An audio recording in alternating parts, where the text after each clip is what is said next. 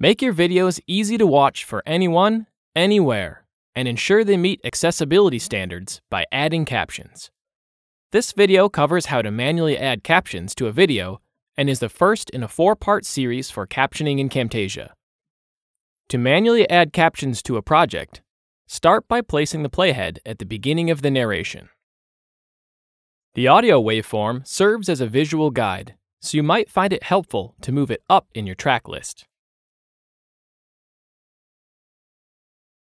Next, open the Captions tool and click Add Caption. A new caption clip will appear on the topmost track of your timeline. By default, each new caption spans 4 seconds. Welcome click the back. play button and Camtasia will loop the I'll 4 seconds of narration, audio. providing you time to type the In narration. tutorial, I'll focus on editing audio. Welcome back. Click the play button again to stop. After typing in your narration, click the plus button or press the tab key to add the next caption. The caption is tacked onto the end of the first and spans the default 4 seconds. To adjust the length of a caption to align with your narration, click and drag the duration slider or drag the end of the caption on the timeline. Note that the captioning window disappeared when I clicked on the timeline. To bring it back, double click the caption or head back to the Captions tool and click a caption. At this point, you're ready to work through the rest of your video.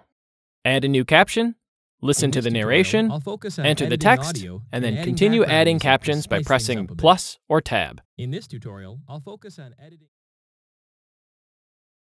As you add captions, if you find you have a sentence that is split between two captions and you'd like to present it as one, right click on the second most caption and choose Merge with Previous Caption. If you choose to resize or merge captions, make sure their length is no longer than 7 seconds and they have no more than 3 lines of text. This is the maximum length and number of lines of text set by the Americans with Disabilities Act. To help you with this, Camtasia will indicate you've hit the three line maximum by graying out words that continue to a fourth line.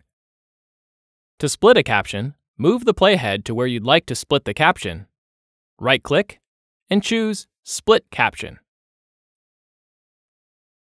Notice that sequential captions are contained in a single clip, which you can move or delete just like any other clip on the timeline.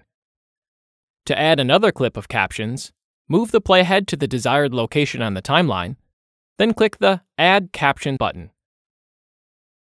As a final tip, if you find the default duration for captions is a little too short or too long, change the duration in Preferences under the Timing tab. Well, that's all for now. To learn more about captions, check out our other captioning tutorials. Thanks for watching.